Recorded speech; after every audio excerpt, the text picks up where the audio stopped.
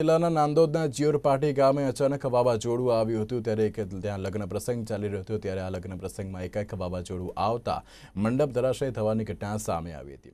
ત્યારે આ મંડપ ખુલ્લા ખેતરમાં લાગ્યો હતો ત્યારે અચાનક મિની ટોરેન્ટો આવતા આ વાવાઝોડાથી હડકંપ મચી જવા પામ્યો હતો. ત્યારે વાવાઝોડું ઊભું થતાં લોકોમાં નાસભાગ મચી જવા પામી હતી અને તેની સાથે મંડપ તૂટતા બે મહિલાઓ પણ ત્યાં સામાન્ય ઘાયલ થઈ હતી. ત્યારે ઘાયલ મહિલાઓને સારવાર માટે હોસ્પિટલમાં ખસેડવામાં આવી હતી.